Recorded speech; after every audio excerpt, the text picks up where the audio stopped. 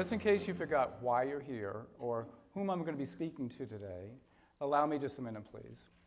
Gregory Maguire is the author of Wicked, The Life and Times of Wicked Witch of the West, Confessions of an Ugly Stepsister, and several other dozen novels uh, for adults and children.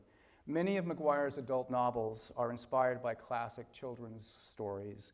Wicked, in particular, uh, transforms the Wicked Witch of the West from Frank Baum's The Wonderful Wizard of Oz into a main, sympathetic, relatable character. This novel inspired the play Wicked. And Wicked became a blockbuster in 2003 on, on Broadway, and since then has become the fifth longest running show on Broadway. Mm-hmm.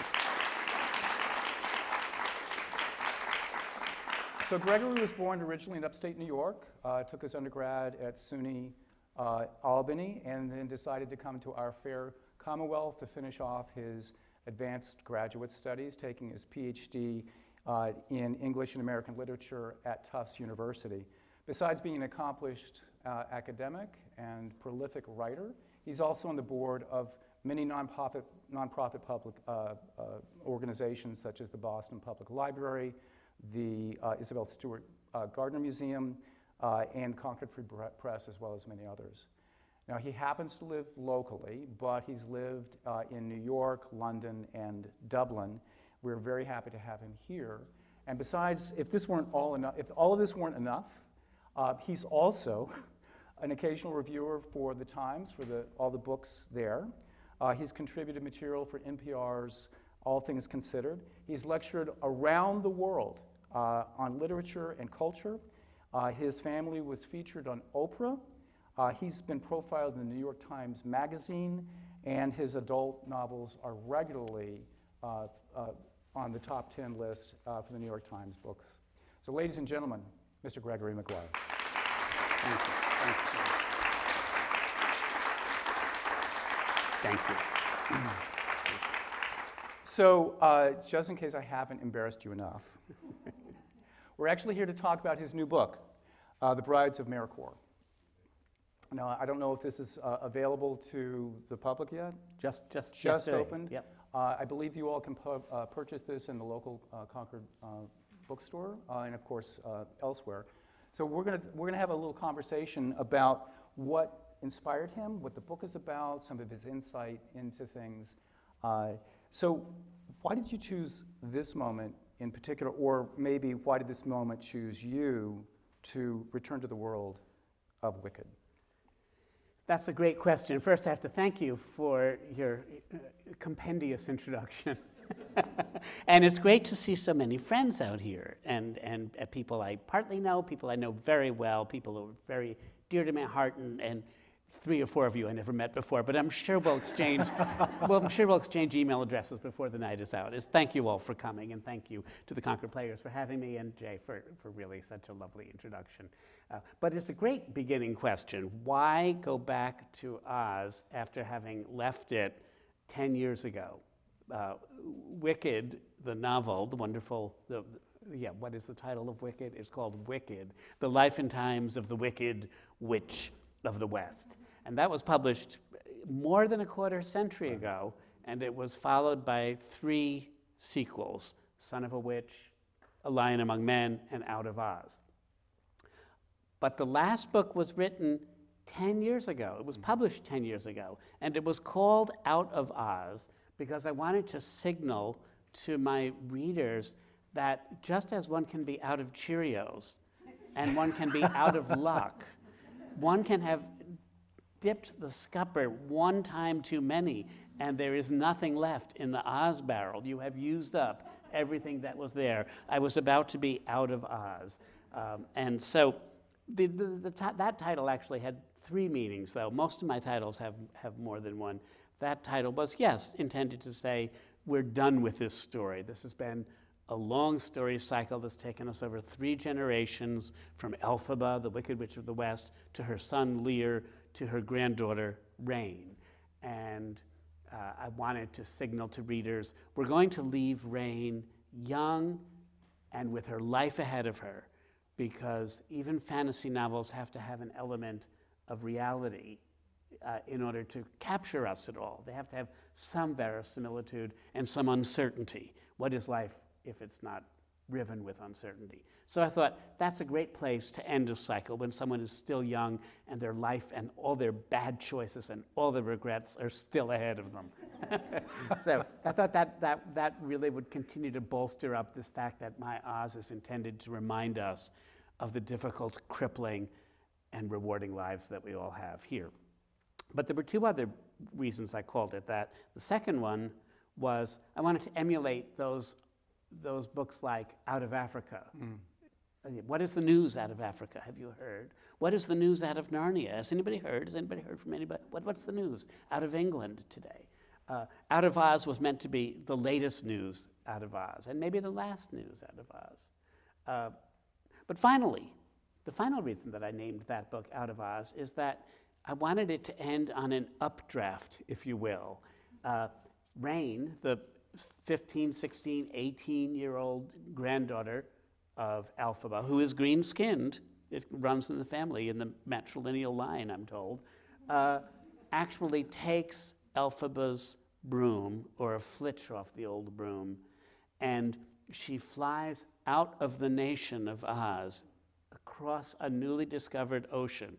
She's like Stout Cortez, as, as the poet called it, silent on the peaks of Darien, although it wasn't Cortez. But it, that's, that's how the poet uh, Keats, I think, uh, said. She discovers a new ocean, a new land that most of the people in Oz don't know. She goes out of Oz on the broom with the intention of disappearing the magic book called the Grimmerie, of getting it out of Oz. If we could lose the secrets of nuclear weapons, would we drop them in the ocean so that we could save future generations?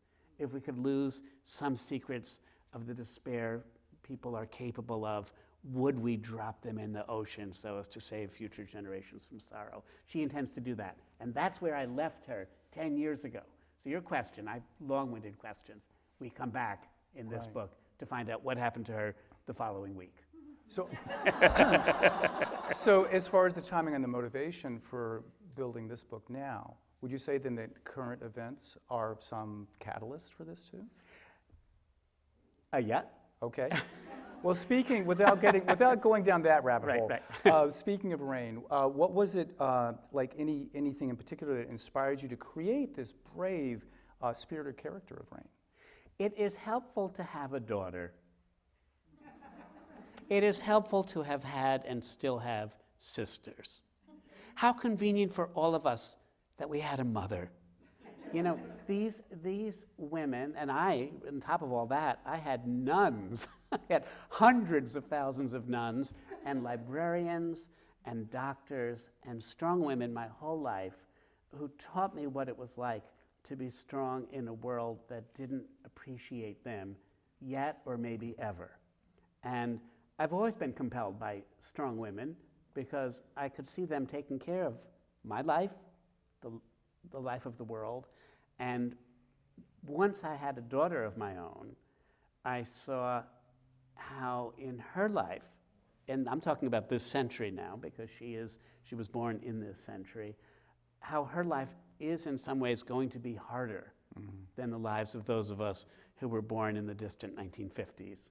Uh, and, uh, and my heart goes out to young people who have to deal with so much more, such a different uh, set of shimmering, ugh, scary, ghostly possibilities on the horizon of existence than those which, in, from the 1954 when I was born to 1968 when I got out of eighth grade, I didn't have to deal with those kinds of pressures. Mm-hmm. And my heart really goes out to those girls, particularly, but boys too, any young people and to their need to be strong. And so I'm compelled to write about young people because our future depends on them. Correct. Well, would you say then, it sounds like part of your uh, objective was to have her be aspirational and inspirational in some degree? Uh, yes, but not hagiographically so. Right. And I have to, I say it that way because much though I adore the, the musical Wicked, the characterization of Elphaba on the play makes her, turns her from a mistake-riven freedom fighter into somebody just a little bit shy of Mother Teresa.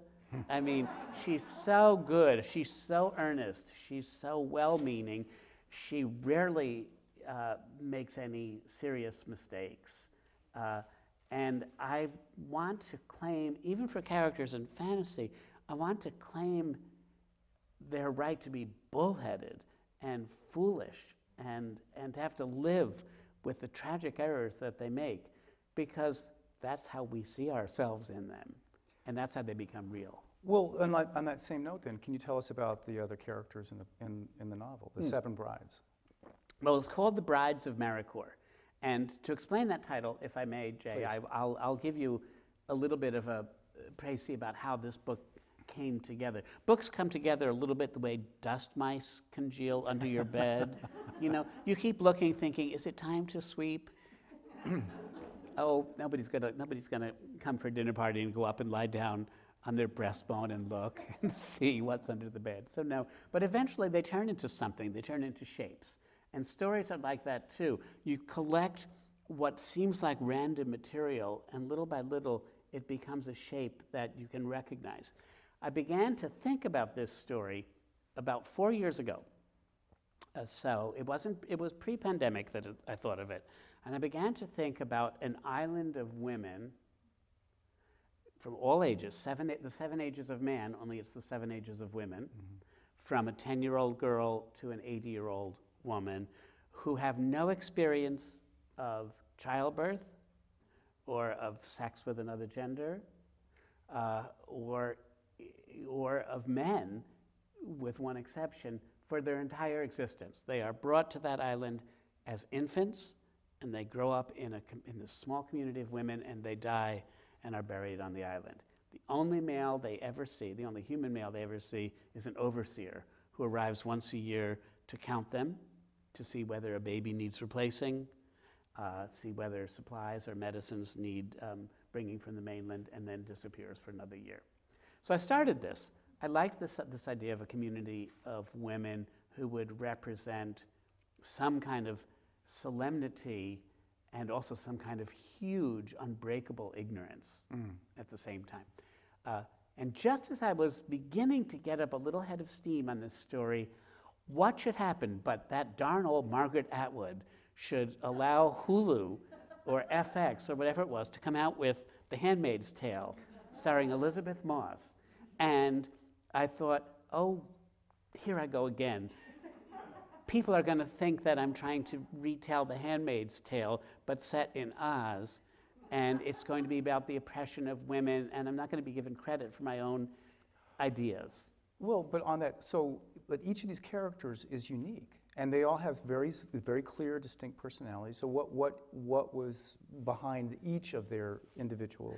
Well, they, they did sort of come up and speak their own voices um, to me, uh, but slowly. Uh, and I didn't want them to represent all of humankind, just as when you write a children's book, the child protagonist doesn't, you know, can't represent all children.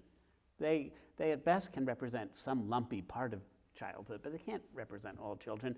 Nor should these women, even seven of them, represent all of feminine existence. But they do represent some of the issues and problems that might occur uh, in small communities where you don't have enough variety and you have also been deprived of knowledge about how other people are. Uh, and this was also a result of my watching women being cut out of situations in history, in the past, cut, cut out of the records, cut out of the careers, cut out of the trades, and deprived of access to lots of things that make humans humans. And so I wanted, I just wanted to think about that, and each one sort of woke up and spoke her own name. Well, was there anyone in particular who spoke to you more strongly than the others? Do you have a favorite? The, the oldest one, whose name is Helia, and that's a word that derives from the Greek for sun, uh, uh, is cranky and bitter, and I think she uses bad language, and so I love her. So what were you, did you have any particular objective in mind, uh, identifying her, creating her? No, she just she she just started growling at me, and all, you know, all, all I had to do it's like magic writing. All I had to do was take dictation, say, "Could you speak a little a little more slowly, dear?" You know, um, I'm, I'm trying to get this down, if you don't mind. Um, Well, speaking of being more slow, so here we are, you know, 25 years later of the Wicked era. Uh, how has that shaped your, uh, your, your creativity, how you look at the world? The the truth about my my career since Wicked, because it, it, I had 15 or 16 years before that, is um, undoubtedly the the surprise success of the novel brought me a, a level of uh, professional recognition and creature comfort that I had not enjoyed hitherto. Yes, I understand. Uh, I'm still and- living that life. and so what it, it did two things to me. It both liberated me to be able to leave other jobs and concentrate on my writing, hmm. but success is its own box too, because as soon as Wicked started selling better than even the publisher had expected, her suggestion to me was, "Why don't you take Alice in Wonderland and rewrite Alice in Wonderland for us?" Now, I have since actually done that, but I didn't do it right away because, Jay, what I said was, look, I don't want to be known as the grown up writer who's kind of needs a whole lot of therapy and is stuck in childhood and, is, and is rewriting children's books because he's kind of. you know, uh, and so uh, I just, uh, I resisted a little bit, but I, by that point I had children to feed Yeah. and I had a mortgage to pay, and I thought you have to, you, you do have to, you have to do what, what, what works. Now the truth is, and you hinted at this, Jay, in your introduction of me, as my career has gone on in the 25 years since Wicked, I realized that yes, almost all my novels for adults have been based on some plinth or other that has to do with some original children's story. And I realized what I've been doing is actually never, I hope, parodying mm-hmm. or making fun of original source material. But in every instance, what I'm doing is trying to tip the hat to the original creators and to say, thank you, by the way, for rescuing me.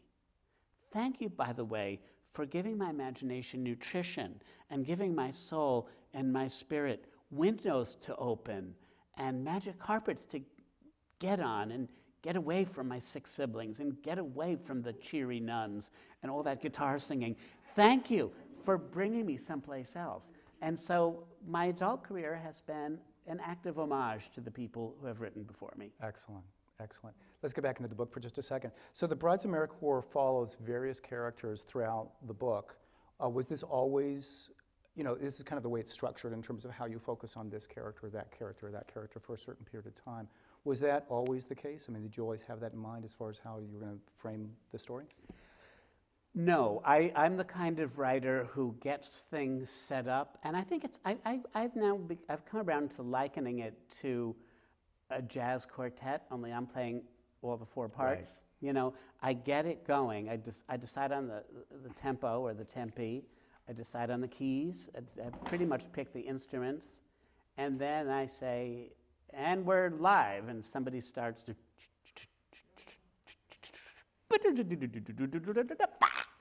And they're off and running, and I just follow them with my typewriter and, and, and watch and see what they do. So would you say then that from the very beginning you heard all the voices as opposed to thinking about the possibility of only focusing on rain?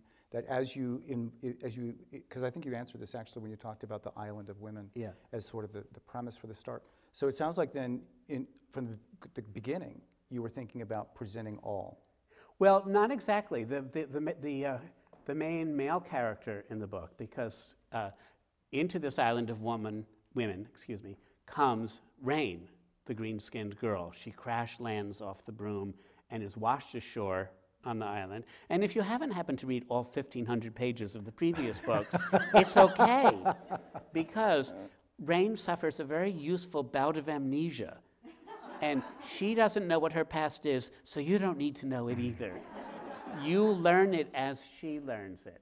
But I'm learning it too, because my method as a writer is to just follow the themes and, and see whether I can chime in from time to time. Lucikles is the name of the overseer. He comes to the island, you know, halfway through part one to do that counting and discovers that instead of there being fewer than seven brides on the island, because that's the requisite for devotional purposes, there's one extra.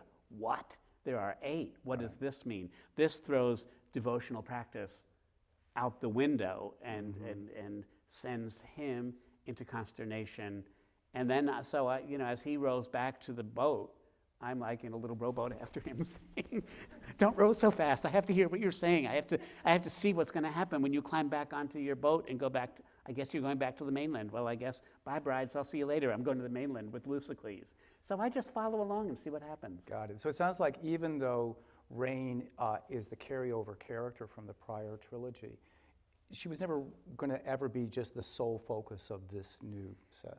No, I don't think, I don't think I thought that. Yeah. I, did, I do know that she is the connecting tissue because this is the first of a trilogy. And in fact, I have, I have drafted the other two books already. Excellent. Well, I'm sure we can't all wait for that, can we? Um, so, seeing as how we're in a theater right now, I did want to ask this question about your thoughts as it relates to um, looking back at Wicked uh, at this time when the world of Broadway was shuttered, uh, but it's now reopening.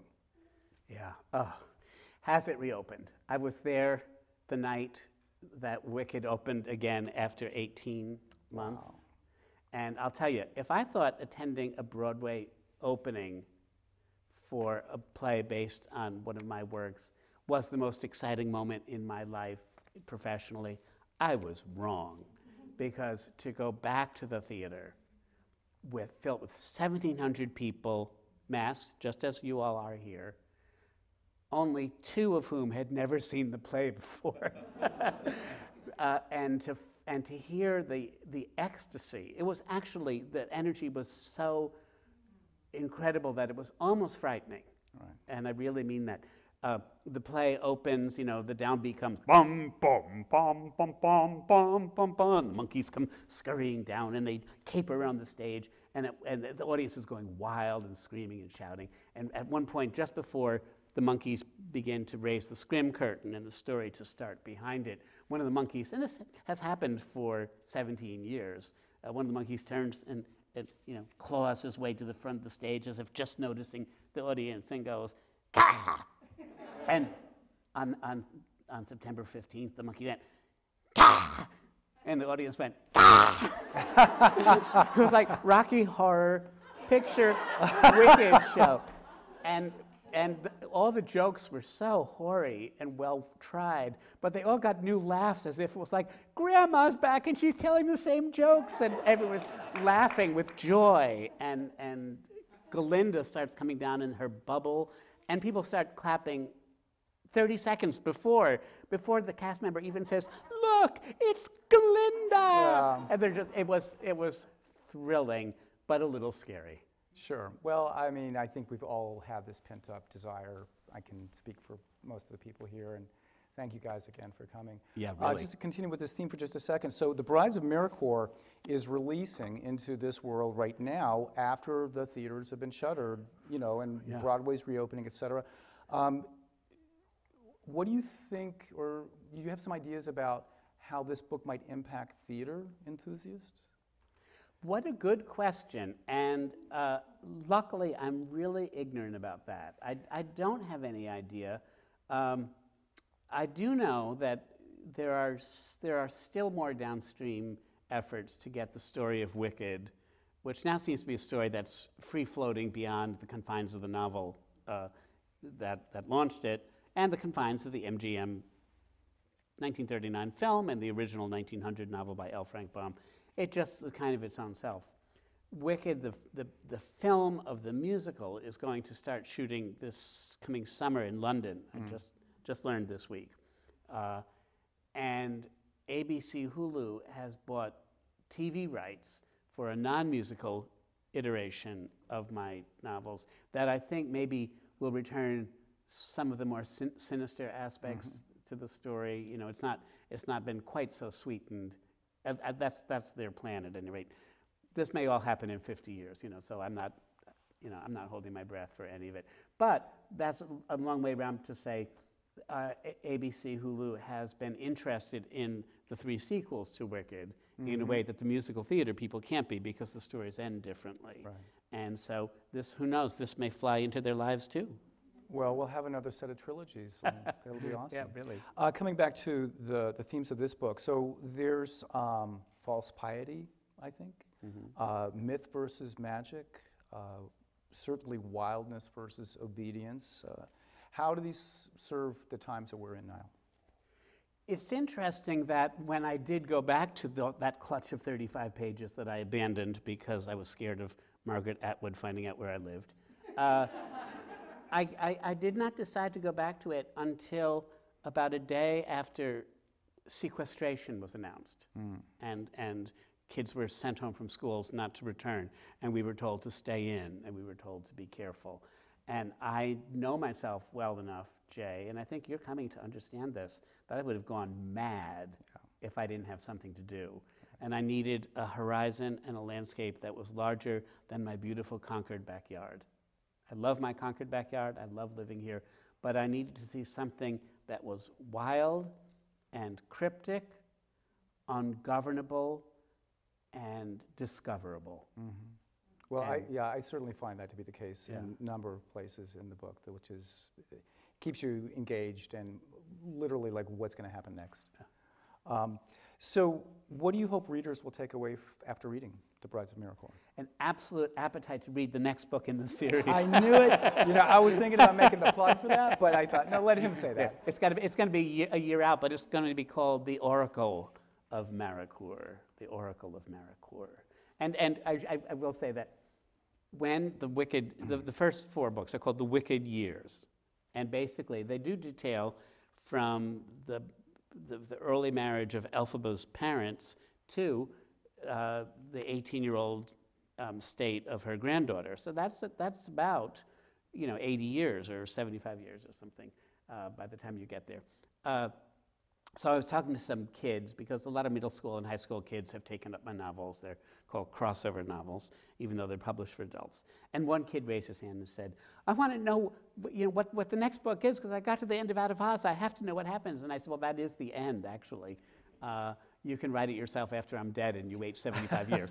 Uh, and uh, and I said, besides, it's called The Wicked Years. And you know what? By evacuating the Grimmerie, which has done so much damage in, in the world and in Rain's life, the wicked years are over. She has succeeded. She may be broken, she may be bent, she may be unhappy in love, but she has succeeded at 18 in doing something good for the future. So that's the end of the wicked years. Wicked is done, wickedness is done. And he said, Well, I have an idea. I said, Kids always have ideas. I love it. I love it. I said, What? He said, You could write another series and you could call it The Happy Years. and I said, That's a really good idea. But in every joke, there's, there's an element of truth Yeah. because our lives are not over. Even when we're absolutely down on the floor, you know, crawling like, like a roach that's been sprayed with Raid, we're not, you know, until we stop moving, we're not done. There are things to do. And that's really what I felt when I decided I had to go back. You know, everybody was in trouble. And Rain is part of my family. She was in trouble too. I had to go back 10 years later and see what had happened to her three or four or five days later. Was she okay? It's like having a second family. It sounds like hope is a big driver in your life. It better be. Yeah. Otherwise, I'm just going to be left at the side of the road. You know, I want to keep going. I hear you. Hope, hope is the necessary fuel. So, can you tell us a little bit about the uh, writing process uh, for the book? And in particular, I'm interested about your decision to use, uh, in certain places, sh- shorter um, uh, chapters, which strike me as being almost like haiku or poem, poems. And so, there's kind of two things. One is, you know, the general writing process, and then your decision to structure the chapters as you did.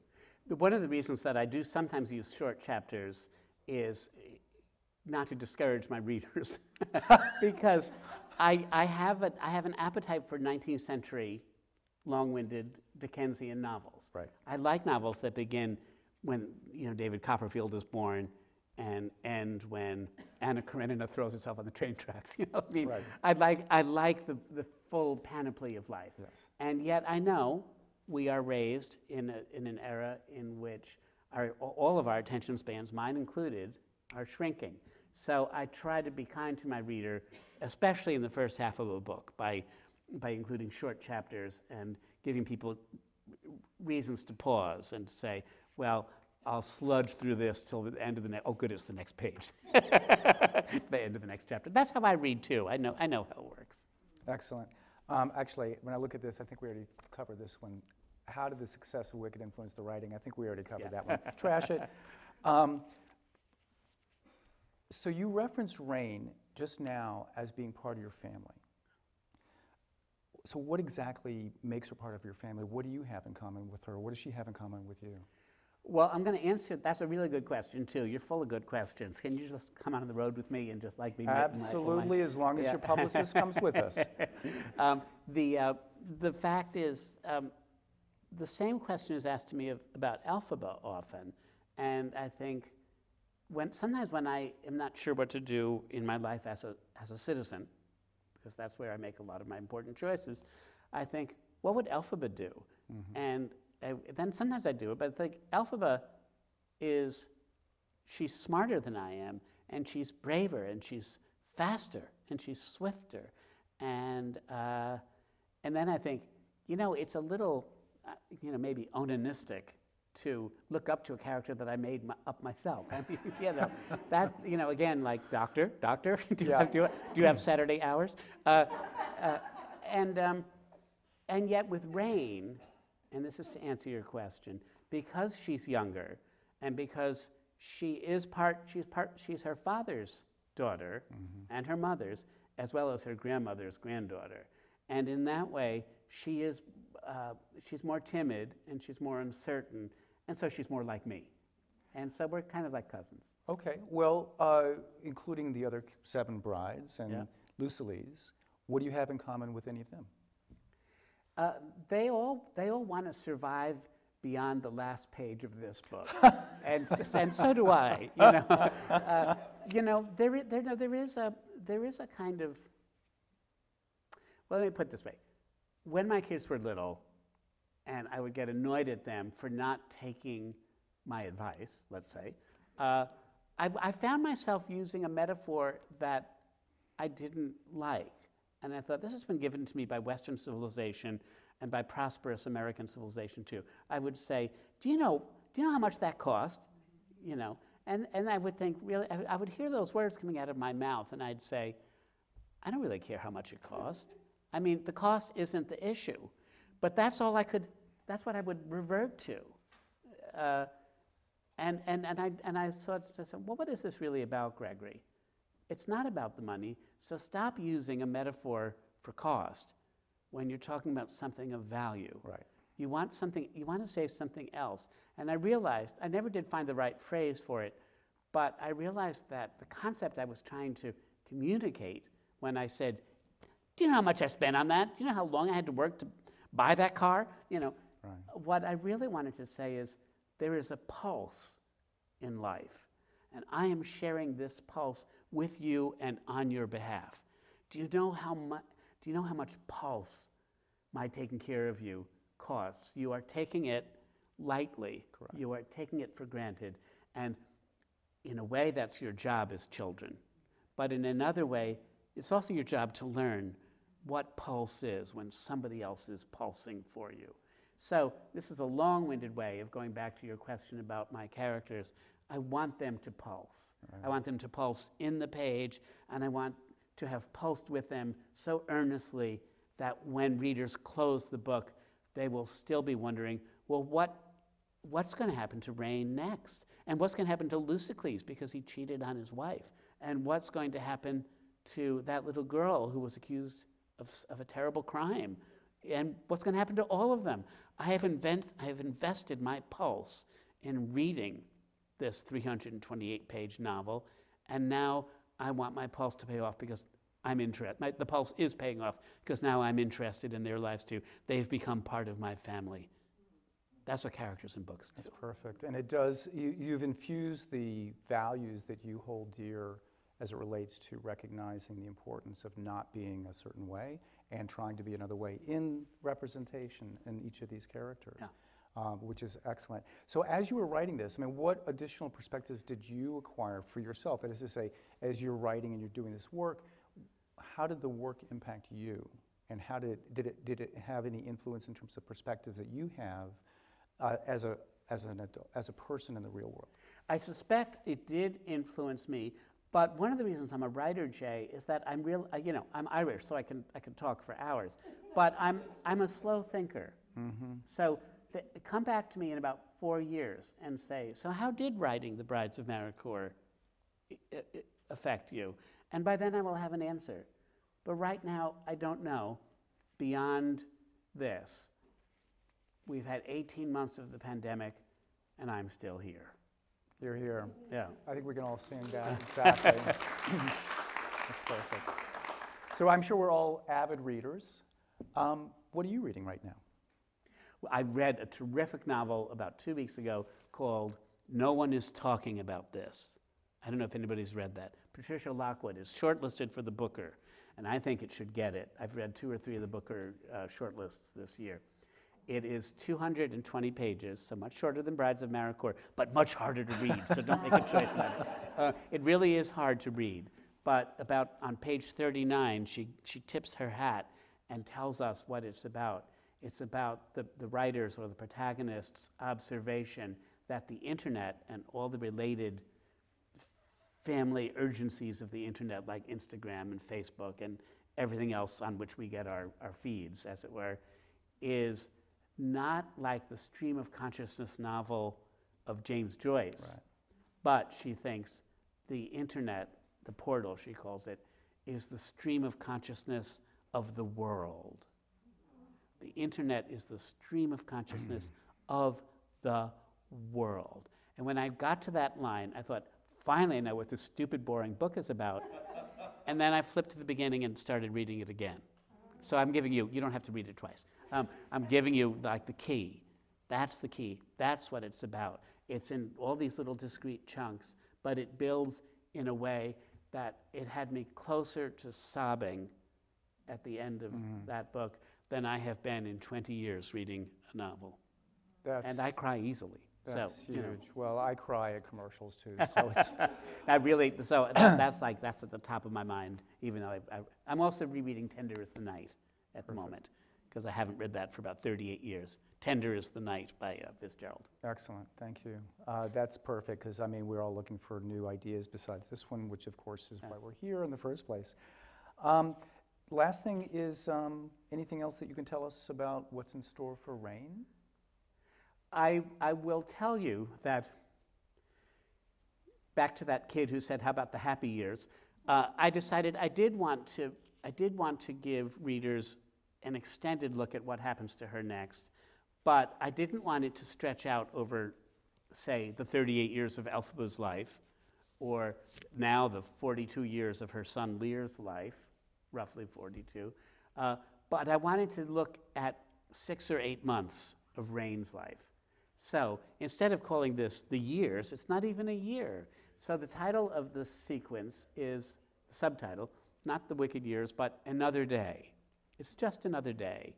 And it comes from the poem Rain, Rain, Go Away, Come Again, Another Day. And in that poem is the architecture of what the three novels is about. Rain, rain, go away, come again, another day. Whenever we make a journey, we are different when we return than we were when we started out. Whenever we read a book and we close the last page, we are a different person.